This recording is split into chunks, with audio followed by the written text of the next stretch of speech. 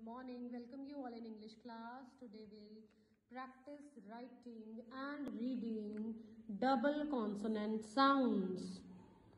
Double F sounds, double L sounds and double S sounds.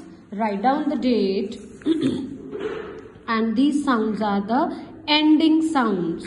Write down the date November 15, comma 21 and today is Monday. Let's read and write off sound words. Double F says off, off, k, uff, cuff, m, uff, muff, p, uff, puff, sn, if, sniff. Double L, k, all, call, m, all, mall. A double L says all. A double L says all. K all call. M all mall. T all tall. B all ball.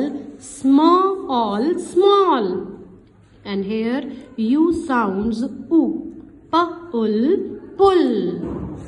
Let's read s sound words. Double S.